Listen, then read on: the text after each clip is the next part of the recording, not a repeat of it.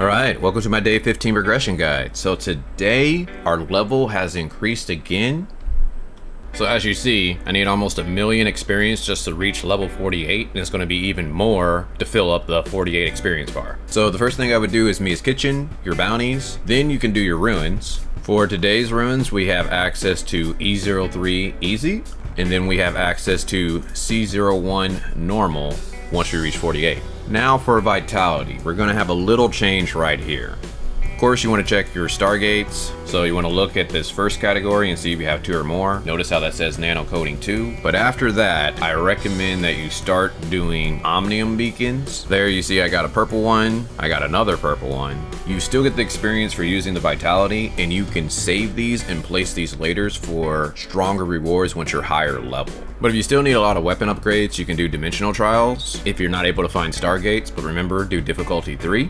And same thing for space-time domains if you really need money, but remember, difficulty 3. Now for the story. You can start progressing the story since we need such a high amount of experience, but you could wait till tomorrow where we don't get a level increase, just to make sure you don't level. Now let's talk about password chests. Now this is a type 2 password chest, and I recommend force deciphering all of these, including the blue ones. It just got announced that we're going to Vera soon, and I hear that once you get to Vera, these change and we can get some rare materials from them.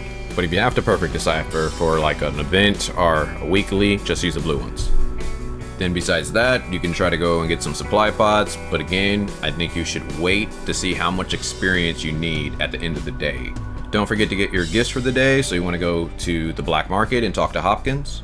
You want to go to Cetus Island and do the claw machine. Then you want to do your two ability trainings. On top of that, you want to maintain your vehicle. Some of the best places are Astra Shelter, Banges Shelter, the Black Market, and the best place, Hykros. On top of that, make sure you're getting elemental rocks for crystals.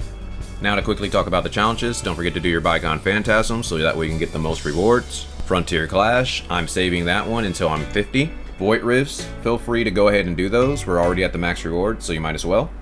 Wormhole, it resets in 17 hours, so if you haven't at least done those extra 8 levels to get the energy crystal dust, I would go ahead and do those. A couple wormhole tips, and I can't take full credit for this. Oliver Ung and Mr. Psychopathy left some comments down, and I tested it out and it worked. But essentially one of the best ways to clear the wormhole is to First, go around the map and look for buffs. There's usually two. I try to get one or two, depending on how my time is. Then, you go around, kill all the medium bosses, and once you get to about 75%, you want to try to gather up two or more medium bosses, because if they're damaged, once the level ends, they all instantly die and you can collect buffs from there. Doing this strategy, I was able to go into the final boss with like a 12 stack buff and I had a couple 8 stack buffs, so I instantly defeated the boss. It was super easy. And then the last thing, Apex League, we have 7 days for you to try to climb the rank, so if you're trying to get like that Gojo mask or you're trying to go Grand Marshal, you're starting to run out of time if you're not quite there. And now to quickly talk about the Summer Breeze event, don't forget to get your login rewards. Don't forget to kill your two bosses for the day. Remember you can kill Lucia, Apophis, Frostbot, and Robarg. And I went ahead and welled out on this machine, but I can tell you, it's terrible. It took me 80 rolls before I got the swimsuit.